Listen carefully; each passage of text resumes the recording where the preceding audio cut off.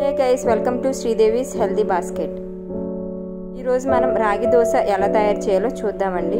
ఇది చాలా క్రిస్పీగా చాలా టేస్టీగా ఉంటుంది. రాగులతోటి మనం ఓన్లీ జావ ఒకటే తాగుతాము. కానీ ఈ విధంగా దోశ కూడా చాలా టేస్టీగా చేసుకోవచ్చు.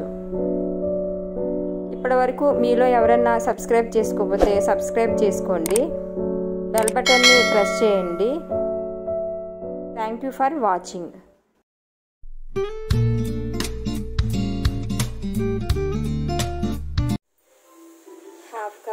పప్పు.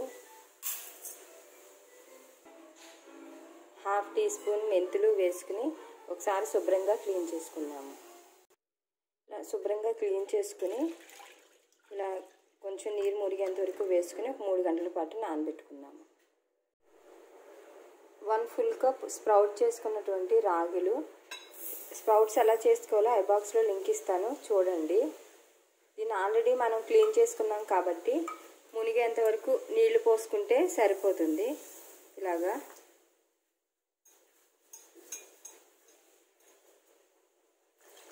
దీన్ని ఒక రెండు గంటల పాటు వన్ అండ్ హాఫ్ అవర్ నుంచి టూ అవర్స్ వరకు నానబెడితే సరిపోతుందండి.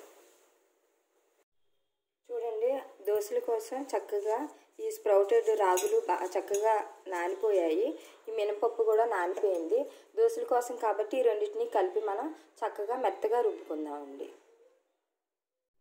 చూడండి దోశల పిండిని ఇలా చక్కగా మెత్తగా రెండు కలిపి రుక్కున్నాం కదా ఒకసారి చేత్తో ఇలాగా కలుపుకొని ఒక ఐదు గంటల పాటు ఫెర్మెంటేషన్కి వదిలేద్దామండి. ఇలా మూత పెట్టి ఒక ఐదు గంటల పాటు ఫెర్మెంటేషన్కి వదిలేద్దాం. చూడండి ఫైవ్ అవర్స్ అయిపోయినాయి కదా.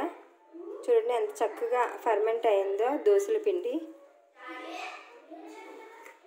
మామూలుగా ఓవర్ నైట్ ఉంచాల్సిన అవసరం లేదండి. ఇది మామూలు దోశ పిండి మిల్లెట్స్ పిండి లాగాను. ఇది త్వరగా ఫెర్మెంట్ అయిపోతుంది. దీన్ని ఇప్పుడు గరిటెతో చక్కగా మొత్తాన్ని కలుపుకుందాము.